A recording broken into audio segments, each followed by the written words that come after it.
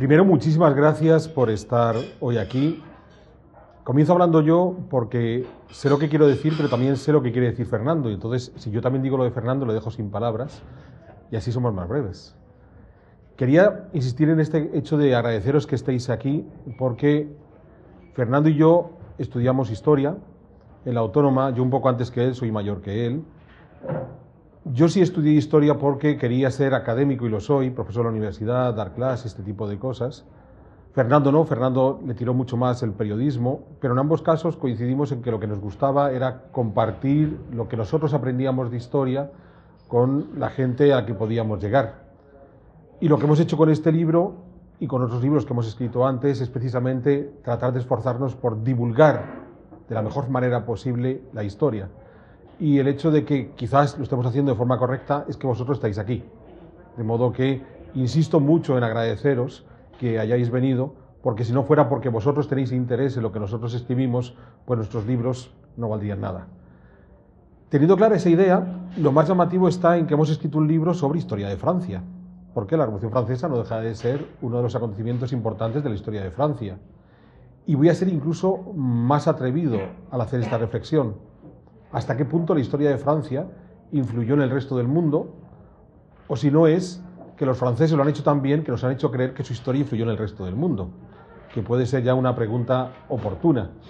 Porque a la larga es probable que en los mismos tiempos en que se produjo la Revolución Francesa haya otra serie de acontecimientos, comenzando por la Revolución Industrial, que no se puso en marcha en Francia, que han marcado de una forma definitiva nuestra realidad actual y que sin embargo posiblemente si hubiéramos escrito un libro sobre la revolución industrial habría tenido menos tirón, a pesar de que, insisto, es muy probable que el mundo en el que vivimos le deba muchísimo más en nuestra vida cotidiana, en la forma que tenemos de ejercer cada día como seres humanos a la revolución industrial que a la revolución francesa.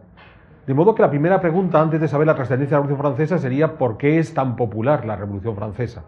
¿Qué es lo que existe en ese fenómeno histórico para que podamos escribir dos autores españoles sobre un hecho de la historia de Francia y lleguemos a una ciudad maravillosa como Logroño y haya tantos logroñeses que quieran venir a hablar y comentar sobre la Revolución Francesa. Entonces, esto es un elemento a retener no solo sobre la Revolución Francesa, sobre la historia en general. Observad que hay ciertos momentos históricos que tienen buena fama. Y esa buena fama lo que les permite es que haya más gente que se sienta atraído por saber qué ocurrió en ese momento.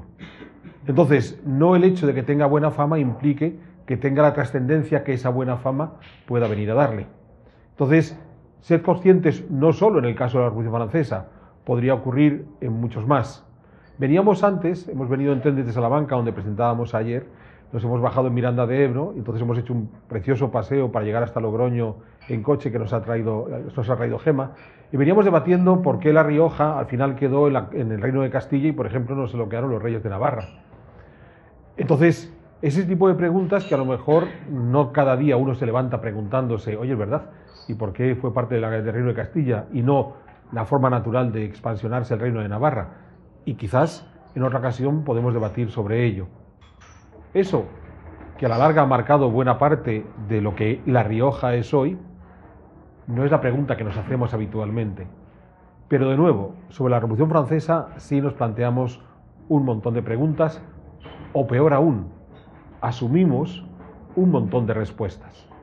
Porque como os decía antes, hay periodos históricos que se miran en positivo, con los que tenemos unos ojos benevolentes, y la Revolución Francesa es uno de ellos. Con Fernando, cuando decidimos hacer este libro, lo que nos preguntábamos era el porqué de esa visión positiva de la Revolución Francesa. ¿Será que en efecto la revolución había sido una fuente de beneficio para la humanidad? Y a partir de esa pregunta inicial empezamos a plantearnos posibles respuestas.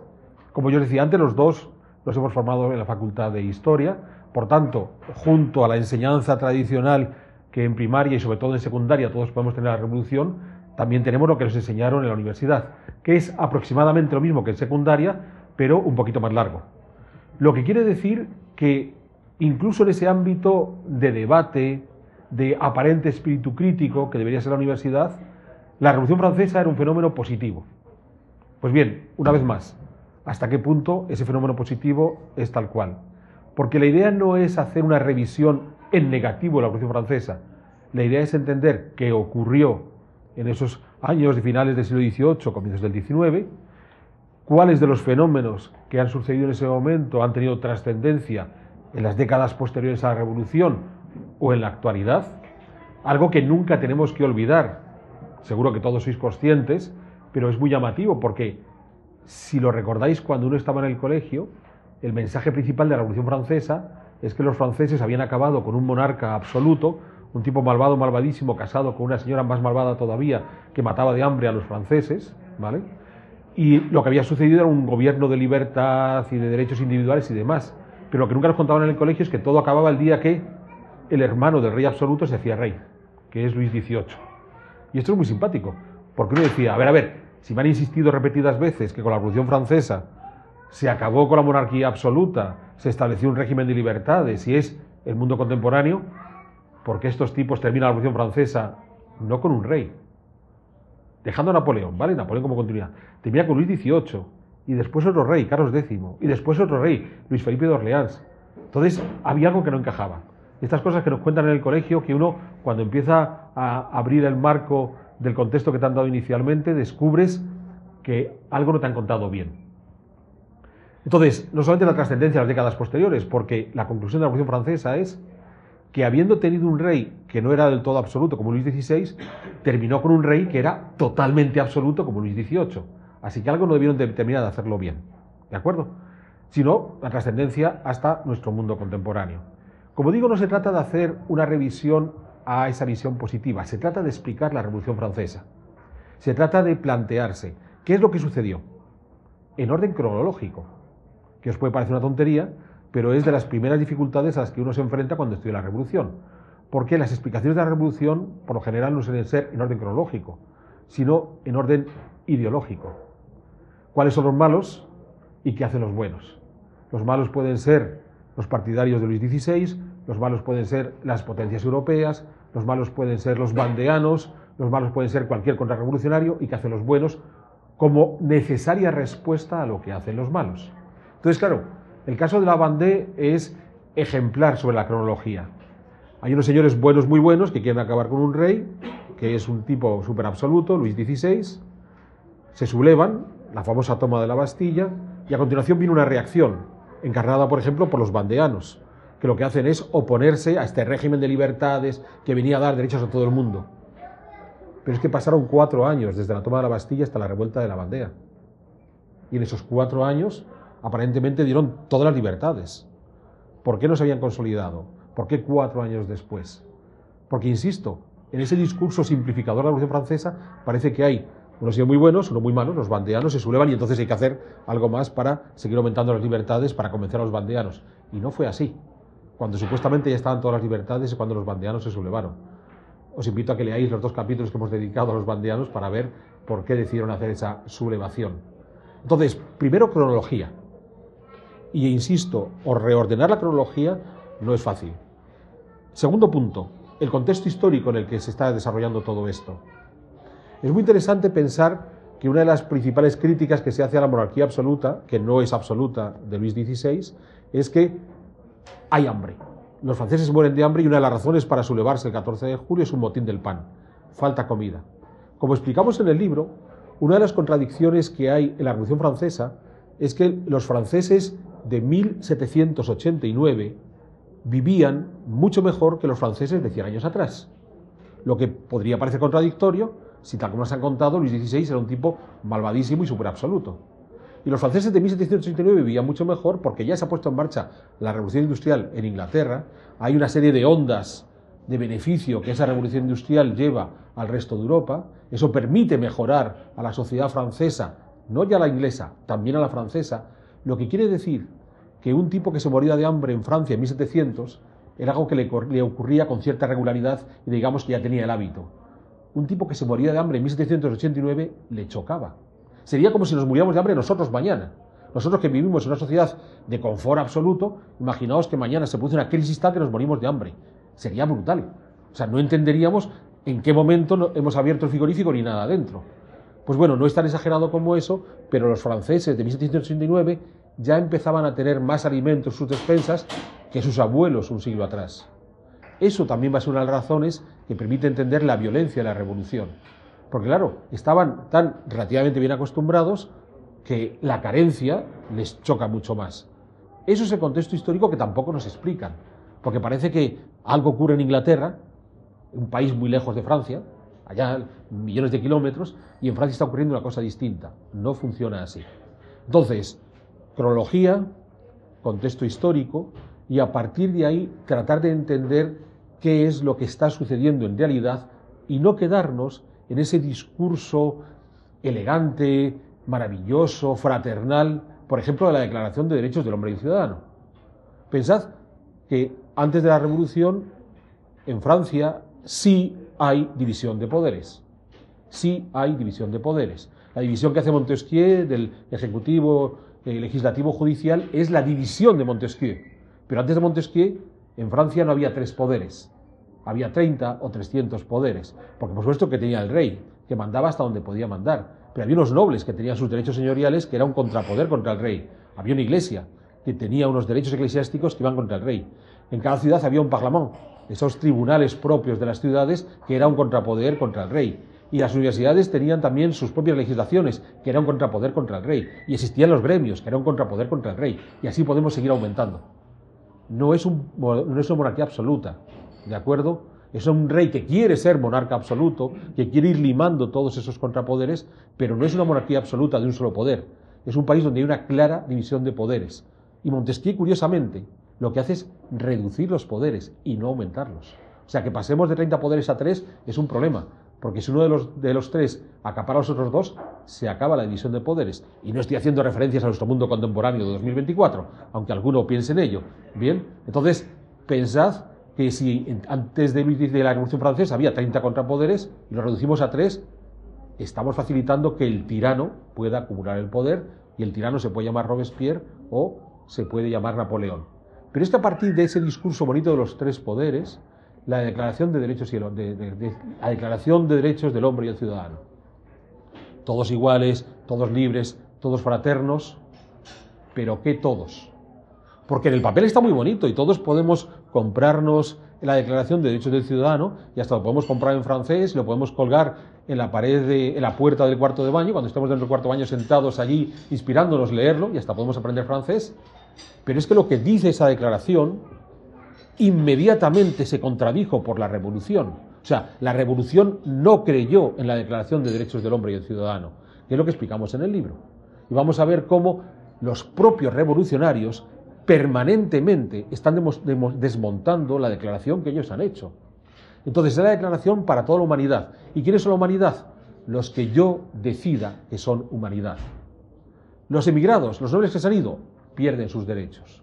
Los sacerdotes que no aceptan eh, la constitución civil del clero pierden sus derechos. Los campesinos que se niegan a formar parte de los ejércitos revolucionarios pierden sus derechos. Entonces empezamos a excluir de la humanidad a un montón de individuos y al final uno dice, oye, la humanidad de los revolucionarios es pequeñita, ¿eh? No era una declaración universal. Porque claro, en el papel es una declaración universal, pero la historia no se basa en papeles lindos y hermosos que colgamos en la puerta del baño se basa en, teniendo ese papel, entendamos qué ocurrió a continuación, cómo lo aplicaron. Claro, dado que hemos decidido excluir a un montón de gente, ¿qué hacemos con la gente que excluimos? Los podemos obligar a que se exilien, es una opción, pero es mucho mejor eliminarlos. Entonces tenemos ahí a la guillotina trabajando por doquier. Entonces, claro, ellos mataron decenas de miles de personas, decenas de miles. ¿Vale? En un periodo que para ya el directorio la guillotina funciona con menos intensidad, en el plazo de 4 o 5 años estos tipos se pueden llevar por delante 40 o 50 mil personas. No está mal. La Inquisición española se llevó 3.000 en tres siglos. Para que veáis que los franceses, cuando se ponen a matar a sus paisanos, son realmente eficaces. ¿No os preguntáis por qué había que eliminar a 50.000 personas? Si hemos hecho una declaración universal de derechos. Entonces, eso es lo que nos planteamos en el libro. Nos planteamos ese tipo de preguntas de por qué en el colegio nos explicaban la Declaración de Derechos, pero no nos explicaban por qué para poner en marcha una Declaración de Derechos aparentemente benigna y magnánima hubo que matar a 50.000 personas. Pues de esa forma es como hemos estado construyendo este libro.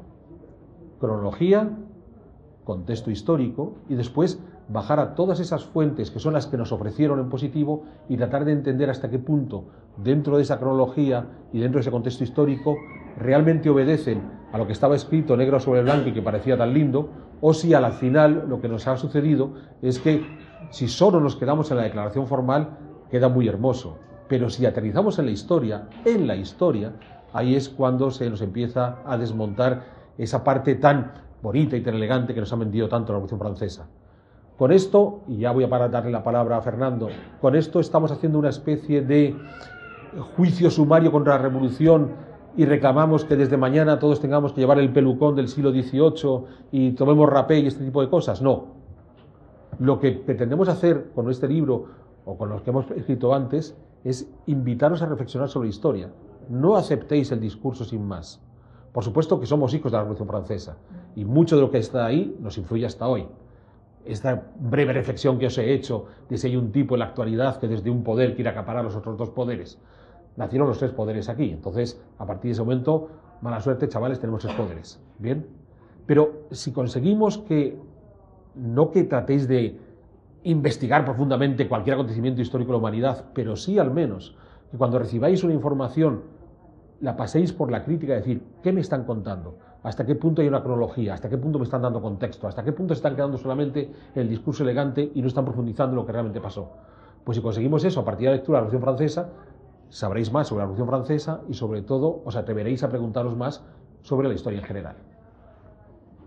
Bien, este es un libro dialogado, como sabréis muchos de vosotros, porque el libro lleva ya un mes a la venta, de hecho casi un mes. Salió el 22 de mayo y los que conozcáis eh, mi programa La Contrahistoria, pues sabréis que ya hicimos otro en su momento, hace dos años exactamente, titulado La Reforma que no fue, fue una especie de ensayo que funcionó muy bien, todo hay que decirlo, nos gustó el resultado y nos gustó también la manera en la que, la dinámica que creamos, es decir, trasladando un programa de radio a un libro, sin que pareciese un programa de radio, no deja de ser un libro.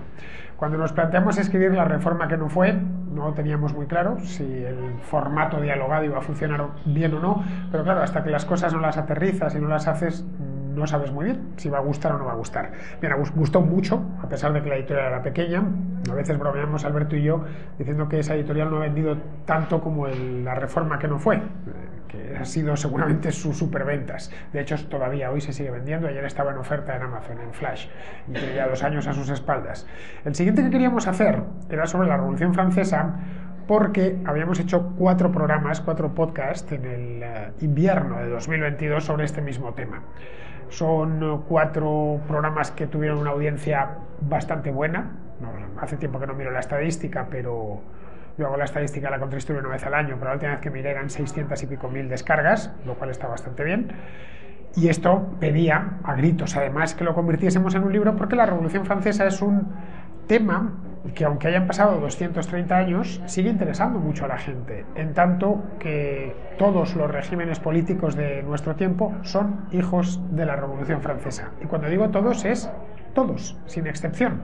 Hasta cuando dicen, no, la China popular, no, la China popular también, la China popular tiene una asamblea y trata de fingir al menos representatividad. Por supuesto, la España en nuestro tiempo, la Alemania en nuestro tiempo, eh, la Italia en nuestro tiempo, no digamos ya los países hispanoamericanos que son repúblicas construidas pues unas décadas después de la Revolución Francesa, en muchas ocasiones hay imagen y semejanza de esa Francia revolucionaria o de la imagen que les llegaba de esa Francia revolucionaria. Ya nos pusimos con ello y planteamos una serie de preguntas, algunas están en la contraportada y otras no. la cantidad de preguntas que teníamos sobre la mesa eran muchísimas y teníamos que dar la respuesta en menos de 300 páginas.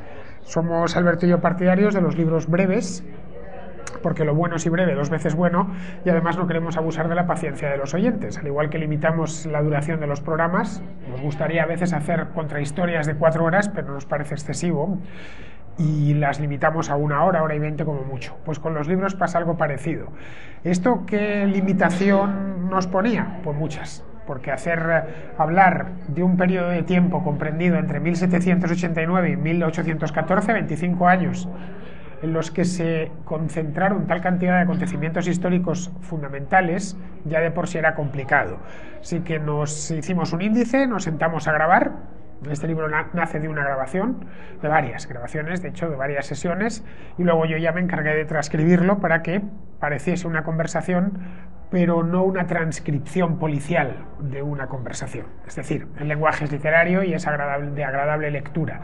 Eh, supongo que muchos de vosotros ya lo habréis leído porque el libro lleva, como os decía, a la venta un mes y, en fin, seréis quienes opinéis si conseguí mi objetivo de convertir una conversación en un libro o no lo conseguí. La gente que lo leyó antes de ir a imprenta, como Olga, por ejemplo, a quien agradecemos mucho su corrección del texto, pues nos dijo que estaba muy bien. Bien, esas preguntas que nos hicimos no iban dirigidas a desautorizar a unos tipos que vivieron hace 230 años no tendría sentido. Alberto y yo somos grandes enemigos de los presentistas. Es decir, no queremos traer la historia, más la historia del país vecino, que ni siquiera es la del nuestro, la historia de Francia al presente y someterle a un juicio. No, no, no, es nuestra idea. Esto no es un libro de politología, aunque lo pueda parecer por el título que lleva. El título, evidentemente, esconde un juego de palabras. Lleva la palabra contra porque nació en la contrahistoria, nada más no es que estemos en contra de la Revolución Francesa, no podemos estar en contra de la Revolución Francesa como no estamos en contra del Imperio Romano. Y si lo estuviésemos seríamos unos necios, porque estar en contra de un acontecimiento histórico es esencialmente ser un necio. No es algo que sucediese ayer, ni siquiera en el tiempo de nuestra vida, sucedió hace 230 años, que es muchísimo tiempo. Es como si qué sé yo, nos pusiésemos en contra de la reforma protestante. Pues muy bien, fantástico, pero en fin, han pasado 500 años de aquello, es absurdo estar en contra de algo así. Hay gente que ha confundido por el título, generalmente sin haberse leído el libro, lo digo porque ya hemos recibido las primeras críticas, la mayor parte de ellas son positivas, algunas se pueden ver en Amazon y también en redes sociales, y otras son negativas. Y no he hecho el cálculo, pero la mayor parte de las críticas negativas son críticas indocumentadas, indocumentadas en sentido estricto, es decir, gente que no se ha leído el libro y que además tiene el, el, coraje de reconocerlo. No me lo he leído, pero estoy, no me parece bien que vayáis contra un, un acontecimiento histórico fundamental. No, como bien ha dicho Alberto, nuestra intención era explicarlo porque primero nos lo quisimos explicar a nosotros mismos que es lo más importante de todo. Y luego, cuando sacamos una serie de conclusiones, lo pusimos, en, lo pusimos negro sobre blanco. Es más, a poco que uno empiece con la libre de prejuicios, empieza a seguir la conversación y algunos de los temas se tratan con más detenimiento, otros con menos, insisto, son 25 años, con una concentración, una densidad de hechos importantes increíble, pero a todos le damos su, le dedicamos su atención, aunque sea unas pocas líneas, para contextualizarlo y entenderlo. Porque eh, la toma de la Bastilla ocasiona, por ejemplo, que aparezca en la Declaración de los Derechos del Hombre y el Ciudadano, porque una cosa y la otra están íntimamente entrelazadas. ¿Por qué el juramento del juego de pelota ocasiona la toma de la Bastilla? Y así sucesivamente. Eh, pero hasta el final, ¿eh? estamos hablando hasta las guerras napoleónicas.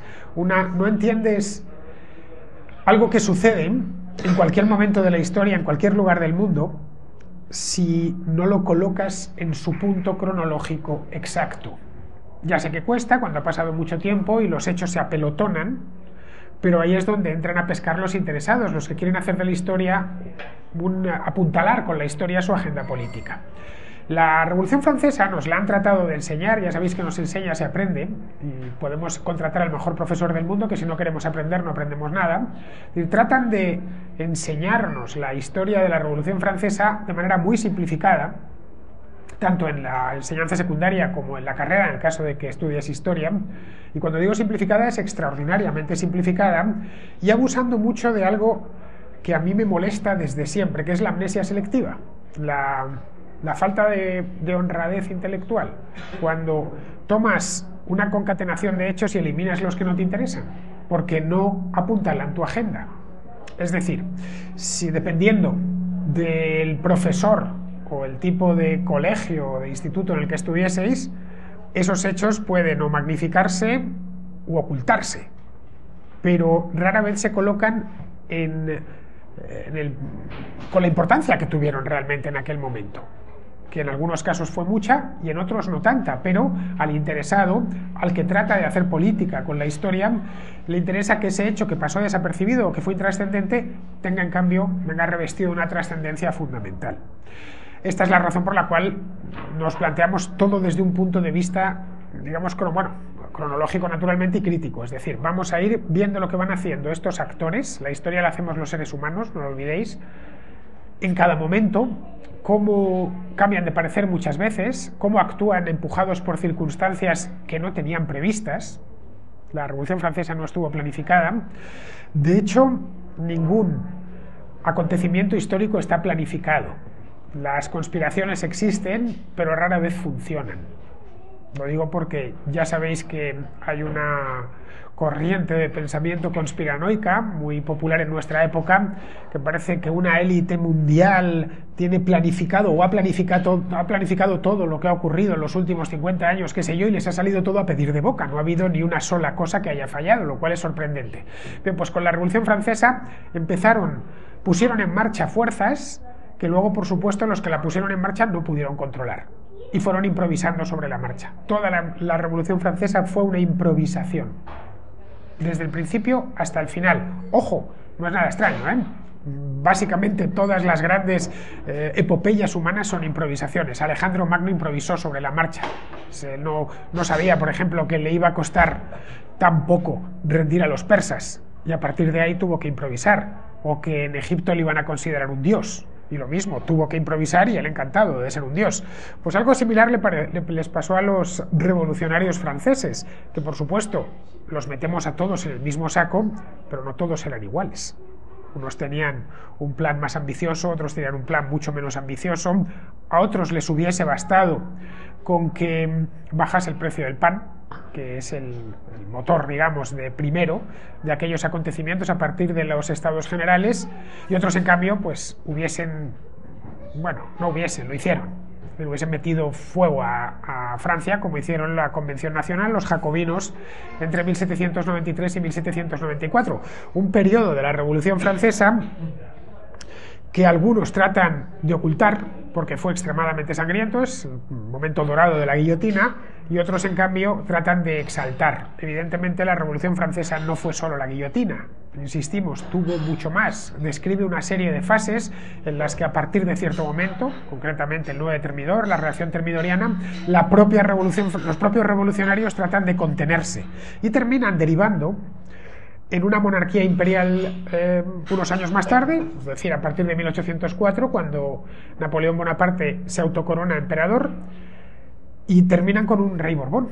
Esto es algo que, y en cierto modo me da esta rabia decirlo, pero ningún profesor de los muchos que tuve a lo largo de mi vida nos planteó la cuestión así. ¿Cómo es posible que hacen una revolución, ponen todo patas arriba para tratar de recortar los poderes de un rey de la dinastía Borbón y terminan devolviendo la corona a un rey de la dinastía Borbón, que además es su hermano y que está más refortalecido que nunca. Bien, como esa parte no encaja en, no encaja en la, digamos, la, la leyenda, ¿no? esto ha sido algo beneficioso y la Francia de 1814 es muy distinta a la Francia de 1789, pues lo eliminan, lo borran. Tampoco nos hablan de que después de Luis XVIII vino Carlos X, que era todavía más absoluto, que de hecho terminaron montando una revolución en 1830, otro monarca, Luis Felipe de Orleans, otro emperador, Napoleón III. Es decir, que, termina además con una nueva revolución en París, que es la Comuna, que la traté en la contrahistoria hace no mucho tiempo, que tarda Francia en estabilizarse 80 años. 80 años. No es que después de la Revolución Francesa se atasen a los perros con longaniza y fuese aquello paz y amor y un consenso generalizado de los avances que se habían producido en el ámbito económico, social, humano y cultural. En absoluto. Llevó muchísimo tiempo, eso sí, tuvo una influencia capital, en tanto que la revolución termina, o en su última fase, es la fase expansiva, con Napoleón Bonaparte, que es el hijo predilecto de la revolución. Napoleón era un revolucionario, de hecho fue jacobino, o simpatizó al menos con los jacobinos, y se encarga de invadir toda Europa, o todo lo que pudo invadir. Entre ella, entre, entre la parte de Europa que invadió, a nosotros la que más nos pilla de cerca es nuestro propio país.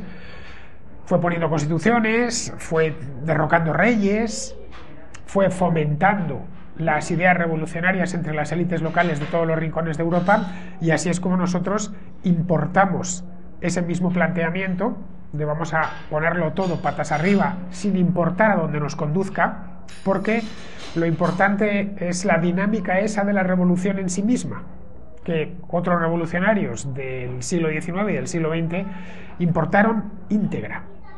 Ahora bien, la Revolución Francesa no solo tiene buena fama entre, digamos, los revolucionarios, lo que entenderíamos por la gente de izquierda, también tiene buena fama entre liberales, incluso entre conservadores, todos más o menos, prácticamente todas las eh, ideas modernas o las ideologías modernas se identifican de una u otra manera en la Revolución Francesa. Yo creo que quitando los tradicionalistas, aquellos carlistas del siglo XIX, el resto todos se sentían deudos de la Revolución Francesa.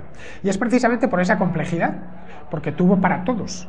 Es decir, la amnesia selectiva es útil en tanto que puedes hacer hundir tus ideas hasta la Revolución Francesa quitando toda la maleza que no te interesa. Podemos escoger un personaje que nos guste. Ahí no, como ya decía fulanito, como decía zutanito, y eso claro lo hace muy atractiva. Y la ha convertido en algo casi casi diríamos que sagrado. Vale, es cierto que la convención jacobina no estuvo bien, y eso quizá fue un exceso, pero en cambio esto que se hizo estuvo bastante bien. Pero consiguieron algo. Vamos a ver, eh, incluso la fase llamémosla moderada, lo que decía Alberto la Declaración de los Derechos del Hombre y del Ciudadano. Esto es, nos convierte por primera vez en la historia de la humanidad, se hace una declaración de los derechos que tiene el individuo. Bueno, al día siguiente, después de proclamarla, estaban ya sacando a la gente, quitándolo la, la condición de ciudadanía. Pero al día siguiente, ¿eh? sin, sin, esperar ni siquiera un minuto. Así que bueno, estas son un poco las ideas que nos llevaron, o el, planteamiento que nos llevó a escribirlo, primero a hablarlo, porque es un libro que empieza hablándose, y después a escribirlo y es lo que tratamos de abrir, un debate, no pretendemos abrir un debate académico, esto es un libro divulgativo, no es nuestra intención, no nos importaría desde luego que algunos académicos concurriesen, especialmente los expertos en historia contemporánea o en historia de Francia, dudamos mucho que lo hagan, sabemos lo que es la academia, y cómo se la cogen con papel de fumar, si me permitís la expresión. Es decir, que ciertas cosas no es que no se puedan decir, pero no se deben decir, dentro del entorno académico. Bien, nosotros no lo somos. Alberto es académico, pero académico en Guatemala, entonces no tiene ese problema. Y nos podemos permitir abrir este tipo de debates, siempre con la máxima educación y el rigor que creo que nos caracteriza a ambos. Es decir, yo siempre que abordo temas históricos me voy a los hechos, igual que cuando abordo temas políticos o de actualidad me voy a los datos. no afirmo nada que no pueda justificar o documentar en el caso de la historia, sobre hechos o sobre datos. Ahora depende de vosotros, que sois los lectores, tanto los que estáis aquí hoy en Santos Ochoa, Logroño, como los que nos están viendo a través de YouTube, ya en directo, ya en diferido, los que sacarán las conclusiones pertinentes. Así que ahora, Alberto, si te parece, damos la, la palabra a nuestra audiencia, que la tenemos delante.